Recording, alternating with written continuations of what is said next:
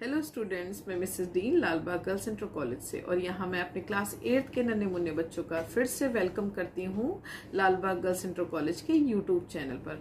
तो स्टूडेंट्स जैसे कि आपको पता है कि हमारी मैथ्स में यूनिट टू चल रही है यूनिट टू मतलब है वर्ग और वर्गमूल। तो इसी को हम लोग कंटिन्यू करेंगे। अभी तक आपने वर्ग निकालना सीखा, गुणनखंड विधि के द्वारा और भाग विधि के द्वारा। तो इसी भाग विधि को आगे बढ़ाते हुए आज हम देखेंगे कि किस तरीके से पता करें कि दी गई संख्या जो है, पूर्ण वर्ग है या नहीं। तो वो कैसे करेंगे, वही हमें देखना है और इसमें भी दो चीज़ें हैं, या तो वो जोड़ के भी द्वारा पता कर सकते हैं, या फिर हम उसे घटा के भी पता कर सकते हैं। तो आज हम लोग इसी बात को सीखेंगे। तो बच्चों, ये हमारी प्रॉब्लम सम्स है। जैसा कि बताया कि जोड़ने पर एक बार हम लोग निकालेंगे और एक बार घटाने पर। तो हमारी प्रॉब्लम सम है, वह छोटी से छोटी प्राकृतिक संख्या ज्ञात कीजिए, जिसे यदि हम three zero six four five two ये पूरी एक हमारी संख्या है, यदि हम ध्यान से पढ़ें तो क्या है? इकाई ढाई, सैकड़ा, हज़ार हज़ार, लाख। तीन लाख, छह हज़ार, चार सौ बावन। में जोड़ें तो योगफल पूर्ण वर्ग हो जाए। यानी ये जो दी गई संख्या है, इसको जोड़ना है। लेकिन वो क्या नंबर जोड़ना है, यही नंबर पता करने के लिए हम सबसे पहले दी गई संख्या को भाग विधि के द्वारा वर्गमूल निकालेंगे। तो जैसा कि बच्चों, मैंने थोड़ा सा लिख के रख रखा है, जिससे कि वीडियो हमारा बहुत लंबा ना बने। जो जो दी गई संख्या होती है, उसको हम इकाई के अंक की तरफ़ से, क्योंकि दिस इज़ द इकाई नंबर टू दहाई नंबर फाइव इकाई के नंबर की तरफ़ से हम पेयरिंग करना शुरू करते थे पेयरिंग यानी कि जोड़े। तो दो दो अंकों को एक साथ लेते हुए चलते हैं और जोड़े बना देते हैं। तो हमारे ये तीन जोड़े बन गए। अब हम तीस का जो, तीस के हिसाब से वर्ग इस तरीके से पढ़ेंगे, या तो वो तीस के बराबर आए या तीस से छोटा आए, बड़ा ना आए। तो जैसा कि सभी बच्चों को पता है कि आपने दो से बीस तक के वर्ग ज्ञात कर सक, कर रखे हैं तो ये वर्ग आता है फाइव के अंदर। तो जैसा कि दिख रहा होगा फाइव का स्क्वायर यानी वर्ग करे तो ट्वेंटी फाइव आता है और सिक्स का वर्ग करे तो थर्टी सिक्स जो कि थर्टी सिक्स क्या है थर्टी से बड़ा है। तो हम सिक्स वाला नहीं लेंगे, कौन सा वाला लेंगे? फाइव का। फाइव फाइव ज़ा ट्वेंटी फाइव। और जब हम लिखते हैं तो थर्टी में से ट्वेंटी फाइव माइनस करेंगे तो फाइव आएगा। क्योंकि जब यहाँ लिखा फाइव तो फाइव ही ऊपर लिखेंगे और इसी फाइव को नीचे जोड़ देते हैं। और जब जोड़ते हैं तो थोड़ी सी गैपिंग करके रखते हैं, जिससे कि यहाँ पर दूसरी बार दें तो हमें नंबर रखने के लिए स्पेस मिल जाए। अब हमारे पास जब हम अगला नंबर उतारेंगे तो हमेशा याद रखिएगा बेटा वर्ग मूल में हमेशा पेयरिंग के साथ ही नंबर उतारा जाता है। तो पेयरिंग हमारी ये पूरी 64 अब हमारा नया नंबर बन गया 564 564 में इस तरीके से वन ज़ीरो के साथ हम वर्ग करेंगे, निकालेंगे कि हमारा या तो 564 के बराबर आए या उससे छोटा आए, बड़ा ना आए।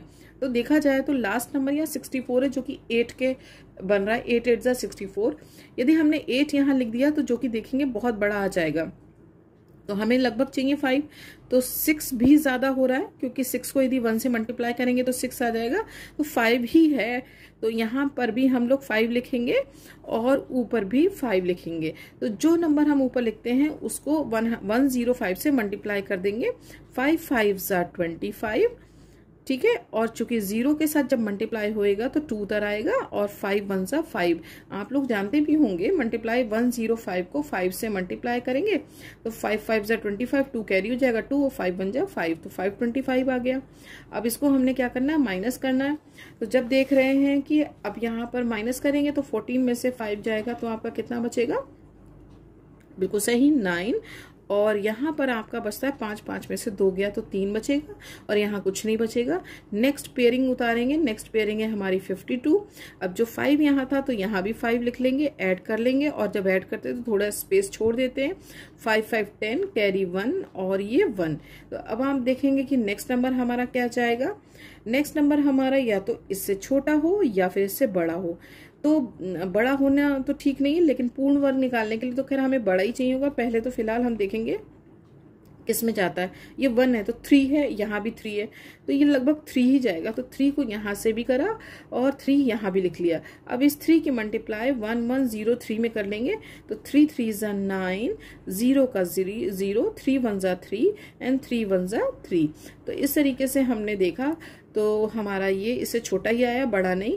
तो अब इसको माइनस कर लेंगे ट्वेल्व में से नाइन जाएगा, हमारा बचेगा थ्री और यहाँ फोर बचेगा क्योंकि एक अंक हम ले चुके हैं पहले से ही, और यहाँ पर नाइन में से थ्री गया तो सिक्स फोर्टी थ्री इस तरीके से हमने दी गई संख्या का भाग विधि के द्वारा वर्गमूल निकाल लिया। लेकिन हमसे कहा क्या जा रहा है कि उस प्राकृतिक संख्या में क्या जोड़ दें? देखिए, वो खुद ही कह रहा है कि जोड़ दें तो जोड़ने से जो आए तो अब संख्या हमारी यहाँ पर है three zero six four five two में क्या जोड़ दें? तो कुछ तो जुड़ेगा। मान लीजिए एक्स जुड़े। अब यहाँ पर जुड़ने की जब बात आई तो हम ये देख रहे हैं कि फाइव फिफ्टी थ्री तक तो वर्ग जा रहा है और जाने के बाद भी यहाँ पर शेष हमारा बच रहा है। तो देखा जाए तो बचना तो नहीं चाहिए। ठीक? तो अभी क्या है, इसका मतलब ये हुआ कि इससे बड़ी बचना नहीं चाहिए ना, पक्का? देखिए एक बार फिर समझ लीजिए कि कह रहा है इसमें क्या जोड़ दें? खुद कह रहा है तो जोड़ने का मतलब है कुछ तो जुड़ेगा। अब क्या जुड़ेगा, यही तो नहीं पता, यही हमें निकालना है बच्चों। तो निकालने के लिए हमने जब वर्ग निकाला तो हम देखते हैं कि यहाँ अभी भी बच रहा है संख्या हमारी 643 इसका मतलब है कि इससे बड़ा ही नंबर हमें यहाँ देना चाहिए था।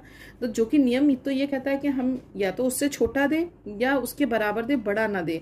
तो उसके अकॉर्डिंग तो हम सही चल रहे लेकिन जो सवाल कह रहा है कि क्या जोड़ दें तो जोड़ने के लिए इसका मतलब होना चाहिए था हमारा यहाँ वर्गमूल फाइव फाइव फाइव फोर अब देखिए किस तरीके से हमने ये निकाला कि फाइव फाइव फोर आ गया। जब यहाँ पर वही सेम चीज़ है बच्चों, यहाँ पर जैसे किया ना फाइव से किया, फिर हमने फिर फाइव से लिया सेम वही है। लेकिन यहाँ पर तीन से लेने पर ये शेष बचा। देखा जाए, शेष नहीं बचना चाहिए, क्योंकि हमको तो क्या चाहिए?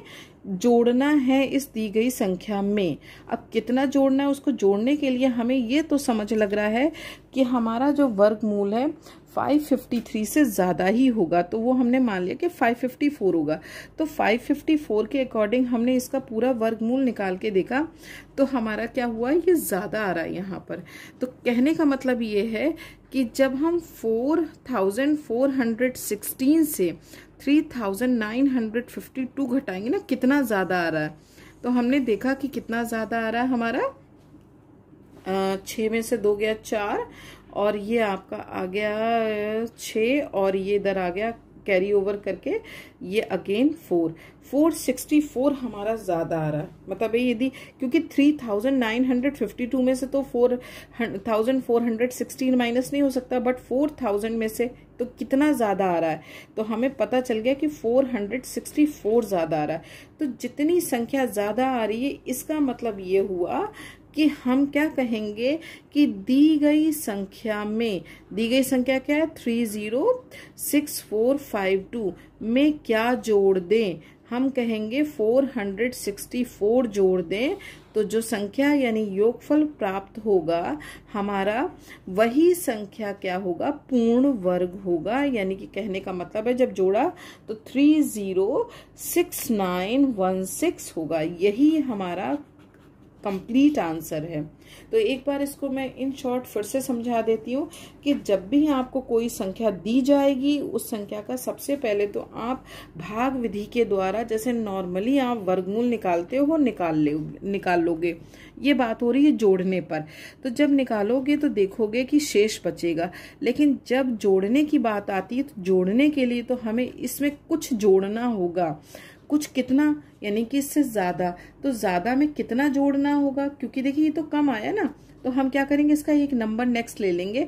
जब इसको देखने पर तो कम आया तो 553 है तो नेक्स्ट क्या होगा? 554 हम उसका वर्गमूल निकाल लेंगे, और जो संख्या ज़्यादा उससे आएगी, उसमें से इसको क्या कर लेंगे? माइनस कर देंगे। यानी यही तो ज़्यादा आया 464 ही तो ज़्यादा आया तो जो ज़्यादा संख्या आएगी, उसको हम दी गई संख्या में ऐड ऑन कर लेंगे तो हमें पता चल जाएगा कि यही संख्या हमारी तीन लाख छ हज़ार नौ सौ सोलह जो होगी, वो पूर्ण वर्ग होगी हमारी जोड़ने पर। तो इस तरीके से हम फाइनली ये वाला आंसर ले आएँगे। तो बच्चों, यहाँ तक तो आपको समझ में आ गया होगा। अब यहीं पर हम एक सवाल लेते हैं। ये सवाल है, वह छोटी से छोटी प्राकृतिक संख्या ज्ञात कीजिए जिसे one nine four four nine one में से घटाने पर शेषफल पूर्ण वर्ग हो जाए। तो हमारा सबसे पहला काम होगा कि हमें जो दी गई संख्या, उसको भाग विधि के द्वारा वर्गमूल निकाल लेंगे। यहाँ पर मैंने वर्गमूल निकाल लिया, क्योंकि वर्गमूल निकालने का भाग विधि से वही सेम मेथड है। इसको बार बार रिपीट नहीं करेंगे। आप इकाई के अंक से दो दो के जोड़े बना लेंगे तो तीन जोड़े बन जाएँगे। अब आप नाइनटीन का इस तरीके से वर्ग लेंगे कि वो हमारा या तो उससे छोटा हो या उसके बराबर हो। तो ज़ाहिर सी बात है फाइव लेंगे तो ट्वेंटी फाइव ज़्यादा हो जाएगा फोर लेंगे तो सिक्सटीन रहेगा। तो फोर लेंगे फोर फोर ज़ा सिक्सटीन और फोर में फोर ऐड कर लेंगे तो एट और स्पेस छोड़ देंगे। नेक्स्ट नंबर हमारा, क्योंकि जब हम अगली पेयरिंग करते हैं तो जब अगला नंबर उतारते हैं तो पेयरिंग के साथ उतारते हैं, अगली पेयरिंग है फोर्टी फोर तो नंबर हो गया थ्री हंड्रेड फोर्टी फोर तो इस तरीके से अगेन हम वही चीज़ करेंगे तो यहाँ पर हमने ये सवाल पूरा हल कर दिया है, वही भाग विधि के द्वारा। तो अब हमने देखा लास्ट में शेष जो है, वो दस बचता है। अब ये तो खैर आसान हो गया। जोड़ने में तो फ़र्क है कि हमें उस संख्या में जोड़ना है, लेकिन अब की से वो क्या कह रहा है? घटाने पर। क्या कह रहा है? घटाने पर। तो जब हमें घटाना है तो घटाने का मतलब क्या हुआ कि हमें कोई चीज़ माइनस करनी है तो माइनस कितनी करनी है? यस दस करनी है, क्योंकि यही दस हमारा ज़्यादा आ गया यहाँ पर। यदि इस दस को हम माइनस कर देंगे तो क्या है, वह छोटी से छोटी संख्या क्या हो जाएगी? दस हो जाएगी, जिसको घटाने पर शेषफल पूर्ण वर्ग हो जाएगा। बिल्कुल आंसर, इसका आंसर बहुत इजी हो गया।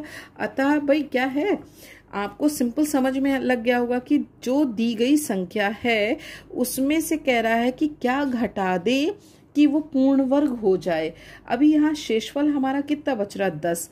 यही तो एक्स्ट्रा है। यदि इसी को हम माइनस कर दें तो वो छोटी से छोटी संख्या क्या हो जाएगी? टेन हो जाएगी। तो आप कहेंगे, अतः वो छोटी से छोटी संख्या हमारी क्या है? दस है, जिसको घटाने से हमारा शेष, जो संख्या है, वो शेषफल जो है, पूर्ण वर्ग हो जाएगा। तो खत नहीं आएगा समझ में तो आप हमसे बाद में पूछ लीजिएगा। तो बच्चों, यहाँ पर मैं इस चीज़, इस टॉपिक को रोकती हूँ और आगे हम नेक्स्ट टॉपिक लेकर फिर आएँगे। तो तब तक के लिए बच्चों, जितना बताया गया उतना कर लीजिएगा और सब बच्चे अपने अपने घर में सेफ़ रहिएगा। थैंक यू बच्चों।